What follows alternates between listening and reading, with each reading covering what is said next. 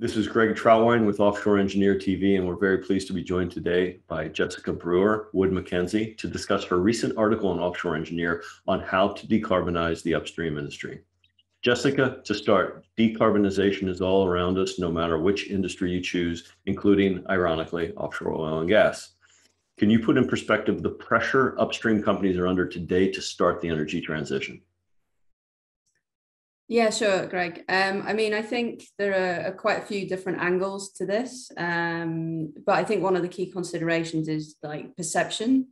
Um, you know, upstream companies are under a lot of pressure from a wide range of um, stakeholders. So you've got governments, investors, financial markets, society, local communities, putting pressure uh, for there to be change. So I think you know companies are going to they need to define their strategies to, to future proof their business in order for them to retain that that kind of social license to operate. And i think you know that need for companies to just reaffirm that they are good operators uh, is only going to continue to, to grow in importance as, as time goes on. Uh, so let's look at some early movers.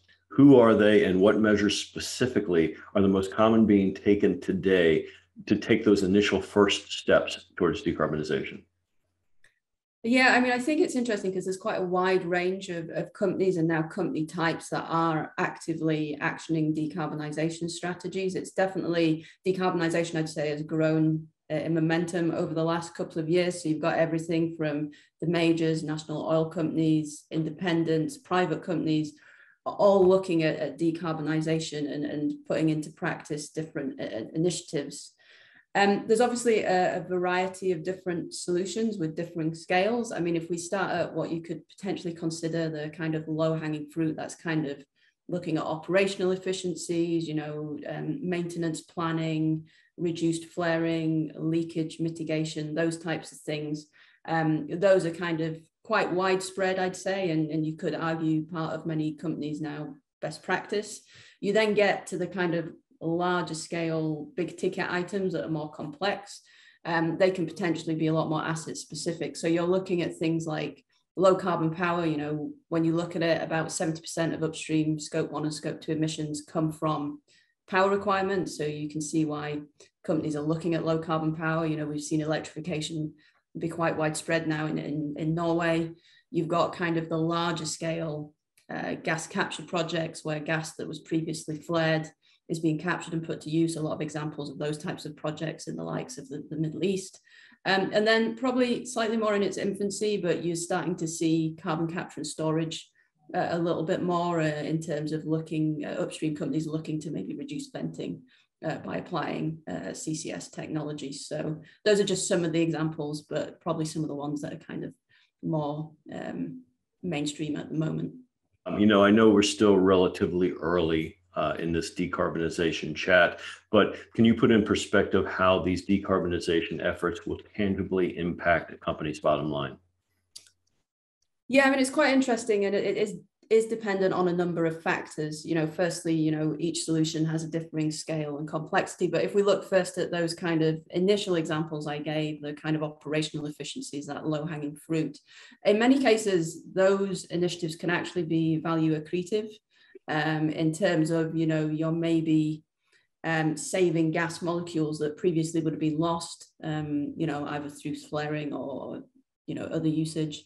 Um, and, and that gas uh, is now available for sale. So that's kind of adding to your, to your revenue stream. Now, obviously, the larger scale projects often require quite large upfront capital spend.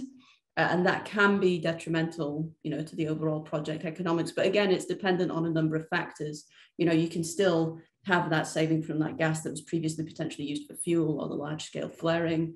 You know in terms of electrification you can often see greater uptime and, and lower maintenance requirements. So you're getting uh, more time out of your equipment um, you know, the fiscal terms being applied for some of these projects. And also it, it can often offset um, carbon taxes in the jurisdictions where they're applied. So, you know, it, it, can also have a positive impact on value. And, you know, and that carbon tax example, you know, the, the carbon and NOx taxes applied in Norway are probably, you know, have been one of the things that have helped incentivize Norway's move to its electrification and, and decarbonisation down that route. You've already touched on a few, but what do you see as the leading consequences for companies and organizations that do not move to reduce their carbon footprint? Quite uh, simply, what are the tangible hazards that they could face?